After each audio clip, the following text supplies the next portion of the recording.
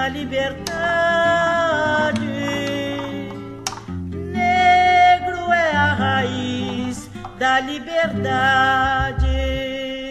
O Dia da Consciência Negra não é apenas um feriado. Trata-se de uma data para reconhecer a luta diária de pessoas negras contra o racismo e a intolerância. Essa é uma luta que começou há muitos séculos atrás. Mas quando a gente olha para os dias de hoje, para o nosso cotidiano, olha para o passado e olha novamente para o nosso cotidiano, a gente percebe que essa luta está longe de acabar. É por isso que a gente não pode esquecer, não pode deixar passar em branco esta data, porque ela é mais do que comemorativa. Ela nos rememora a nossa história e a luta que a gente deve continuar a travar.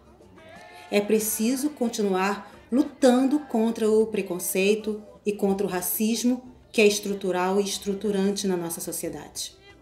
Mas não basta só falar, é preciso ter uma atitude e um movimento antirracista.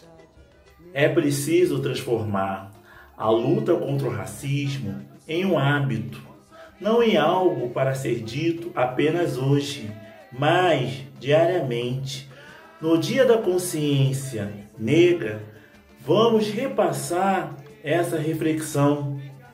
É preciso Essa é